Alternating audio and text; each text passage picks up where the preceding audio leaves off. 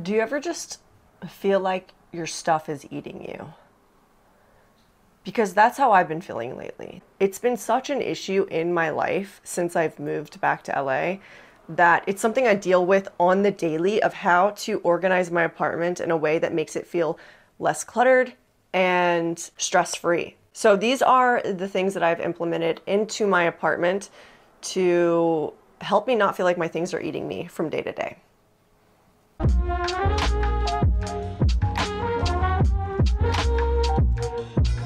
So there's a couple of things I make sure of when I'm organizing. The first thing is I need to make sure everything has a home. If things don't have a home, they end up where they're not supposed to be and it's stressful. I also make sure that the items I use most are easy to access. I realize if I make it difficult and I have to put something away in a very specific place that's kind of hard to reach, I just won't do it.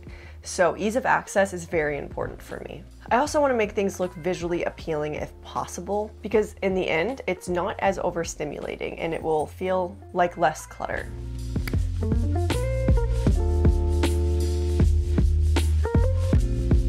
So the first thing was I just realized I had too much stuff and I had too much stuff in boxes that was packed away that was taking up space. What I did was I unpacked everything that was stored away in boxes blankets, towels, pillows, extra decor items, and I displayed everything as if I was going to use it. I don't want to say this is life changing, but I feel like it is, and I recommend giving it a try if you've never done it before. In my head, the reason I did this is because I thought, okay, there's no point in me having these things if they are stored away. I'm not talking about seasonal items, that's totally different, but everything else, what's the point of having it if it's in a box taking up precious storage space. And after I did that, I realized I just had too much stuff and I could see like, okay, I have eight things on this shelf. For this current space, I only need three. So I got rid of the rest.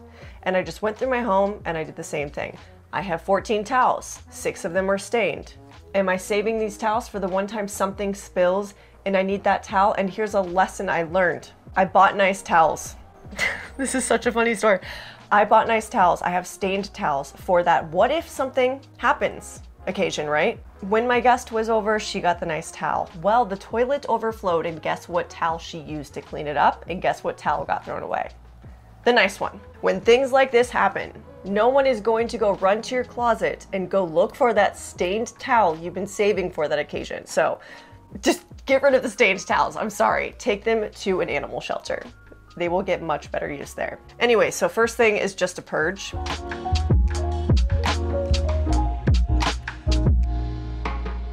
So a drop zone is where your items just accumulate. So for instance, you come in, where do you normally put your keys when you walk in the door? Do you put them on your kitchen counter? Do they go on your dining room table? Where do you put your shoes when you walk in the door?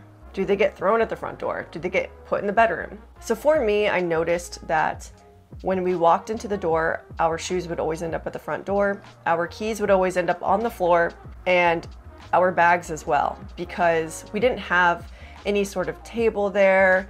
We had nowhere to put our stuff, so we just kind of put it on the floor.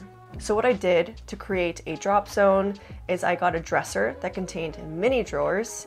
I am able to put my keys in the top drawer. I can put some grocery bags on the dresser when I enter the door, my purse, my water bottle. And as for the shoes, I got a shoe rack that attaches to the back of the door. This holds my partner's shoes and all of my shoes as well, which is amazing. And now our shoes have a place to go, and this is where we put our shoes anyways. So it made sense that it was right at the door when we enter and leave the home.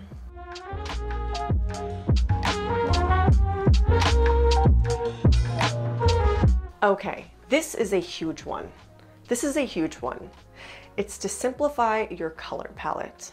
Because regardless if you have a very clean, organized space, if you have too many textures, patterns, and colors, it's going to feel cluttered. In my bathroom, I always used different colors of towels, but the thing is, because those towels are on display, you know, you've got gray, you've got blue, it looks less organized. You go into the space, you see all these different colors, your eye is drawn to it. So to simplify it and make it look more organized and cohesive, I just got white towels. It's as simple as that. Another place where I noticed this was my living room. I have quite a few throw pillows and I feel like I'm not the only one that's guilty of this. They are different textures and different patterns. I also have a throw blanket that is a brown zebra print and it does not go with the theme of my room, but I still had it out on display because I used it. But every time I kept walking into the living room, it just felt wrong. After I realized I needed to simplify, all of a sudden my space felt a thousand times more organized. So if you have a space that feels like this, pay attention to those three things.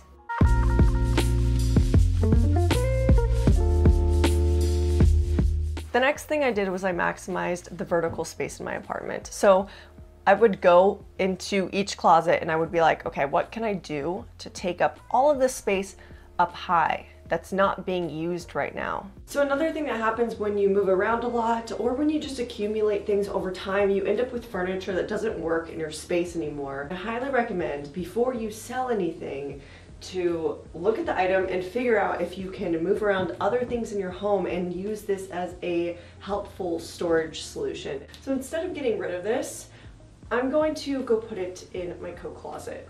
Look at this, this is amazing. Now I can properly organize all of my items and reach them whenever I want. Instead of just stacking boxes on top of each other, which didn't make any sense when we needed something at the bottom. If you aren't using your closets for clothes, I couldn't recommend doing this more. In closets like this, you also have the wall as well. Don't forget about that. So for things like tripods, I like to just hang them on the wall. It's out of the way and it's being stored. I also maximized vertical space in our hallway by putting all of my artwork there, as much artwork as I possibly could from floor to ceiling. I've created so much space just by getting those paintings off the floor and using up all of that space on the wall. For my closet, I got these cubes from Ikea. I think they were $7 a piece. And the one thing I normally don't like about cubes is the fact that when you store stuff in them, you can't see anything that's in them. So the odds of you getting this cube down and going through it. Most likely the items you put in here you're just not going to use because it's so difficult to get to. So what I decided to do was actually use some of the cubes like this for items I do not use year round. And for the items I do use the most, I'm going to flip it like this to take up that vertical space in the top of my closet.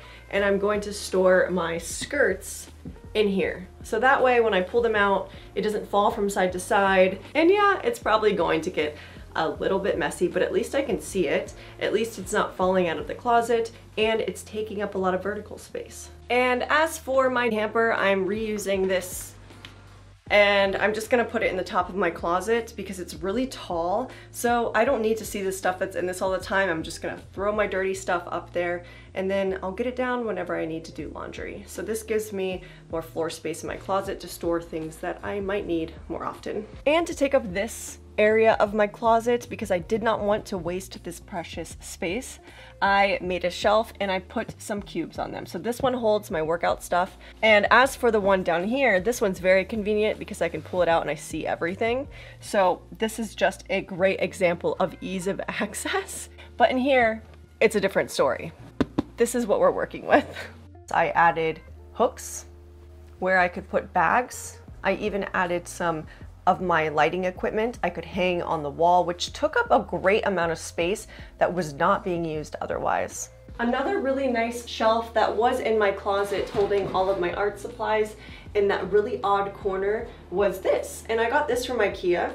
I'm not currently using it, so I do plan on selling this, but if you are looking for a way to utilize that vertical storage in your closet or anywhere else in your home, this is a really good option. And as for my door back here, I attached a bunch of hooks to hold my bags, and instead of hanging up all of my belts on one hook, I just put all of my belts into a bag like this and I just hang it on a hook. I personally like doing this better because I can open the bag and grab whatever I want, but when it's on a hook, you have to take all the belts off individually to get what you want. Another example of me utilizing vertical space is by installing this door shoe rack. This shoe rack is incredible because it takes up the entire length of the door and it takes up that odd space that you normally don't really have a purpose for. Especially if you're not using a closet for clothes, which this is not for clothes, this is just for storage. I put a shelf over our bed to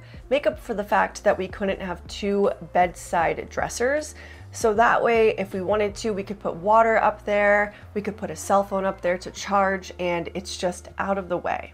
I put some shelves on the wall in the kitchen to hold my coffee cups, my tea, my sugar. It's like a coffee making station and it's perfect because it's usable items that get to be displayed and they aren't stored away in my cabinet where I really need my cabinets to store other items.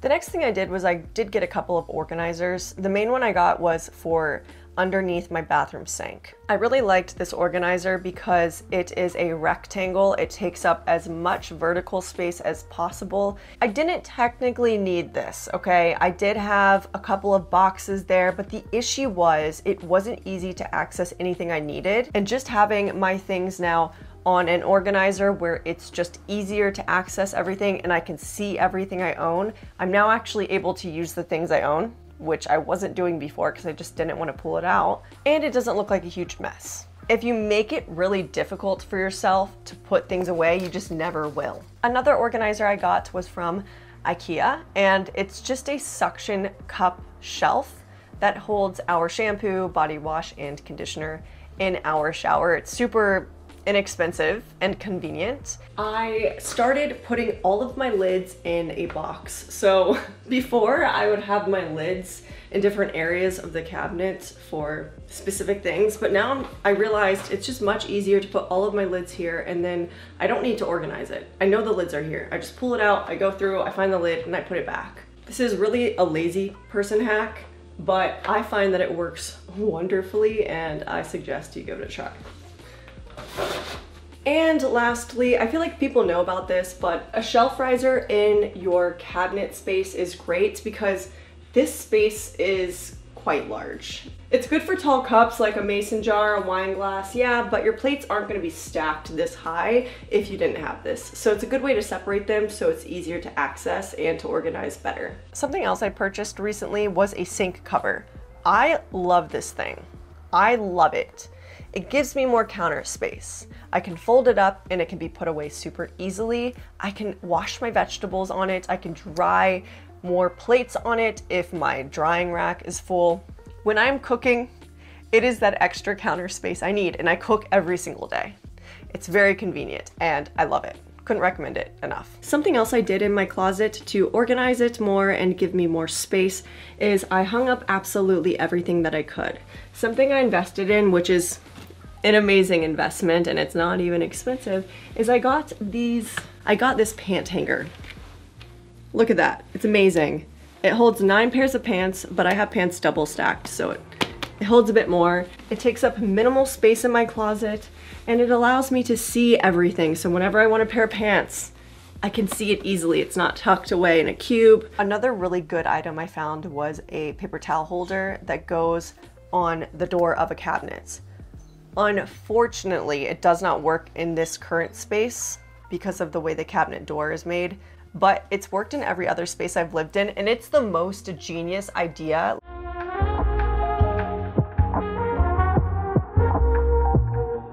Now, when it came to other places in my home, when it came to where do I store my towels?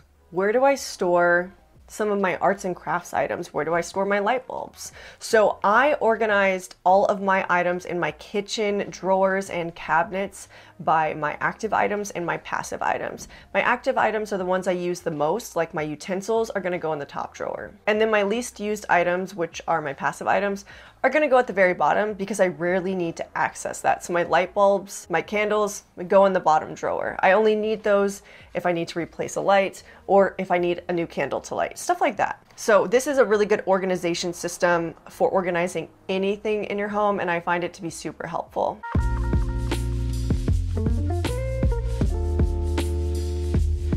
The next thing I did in my home was I utilized odd spaces. One way I showed you I already did this was by hanging my lights for shooting in my closet on the wall. Because normally those lights take up so much space when they're just sitting on the ground. It's a very like odd shaped item. So hanging it on the wall is taking up space that would never get taken up otherwise. Another odd space I had was in my bathroom. So I took a cabinet I made and it happened to fit right in the corner. It was perfect. Just gives me a little extra space to toss my clothes. This is kind of like a drop zone for me when I'm showering. I throw my clothes there. Another odd space I utilized was under my bed. And if you feel like your bed isn't tall enough to actually hold items, get bed risers. It's a super simple way to fix that problem and to store more stuff.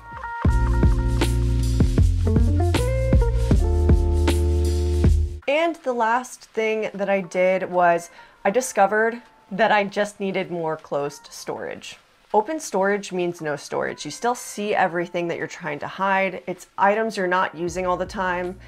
There's no point in seeing it it works in some spaces, but when your space is small and it already feels cluttered, it's the last thing you want to do because it's going to be stressful and overstimulating. This filing cabinet is one of my main closed storage solutions, and this holds the majority of all of my art supplies without looking like an eyesore. You can't see everything, it's hidden away, it's white, it's nice and clean, and everything in here is organized by active items and passive items. And in our office space, because this is where we hold the majority of our items, we got more closed storage solutions to hold my partner's things as well.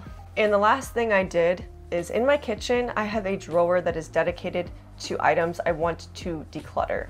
If I happen to go through my home and I see something and I feel like it needs a new place to live, I will go and put it in that drawer. And once that drawer fills up, I will take it to Goodwill. I don't know. I guess that's it. Those are all of the things I have done in my home so far. I know there are improvements to be made, but I'm really trying to do things that work for me and that make sense for me and hopefully some of these things make sense for you too and it helps you out. Let me know what your favorite tip was, what you found the most helpful, and I think that's it guys. Now I'm just like, I, I just want to go and declutter today. That's how that's how I feel right now. I don't know. Anyways, thanks for hanging out with me today and I'll see you in the next one. Bye.